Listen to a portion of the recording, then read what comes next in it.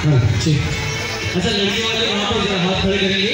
जिनको विश्वास है कि हम लड़के वाले जरा हाथ खड़े करना प्लीज़ गुलशन भैया पे दीवार वाले जरा हाथ खड़े करना ना जिनको विश्वास है कि हम लड़के वाले जरा हाथ खड़े करेंगे।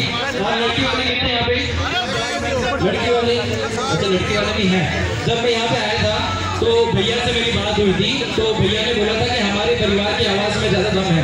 तो फिर उधर से भाभी बोली कि हमारी जो ब्राइट साइड है उसकी आवाज़ में ज़्यादा दम है। तो देखते हैं कि किसकी आवाज़ में कितनी एनर्जी है। सो लड़के वालों, मेरे काउंटडाउन पे आपको वोटिंग करना है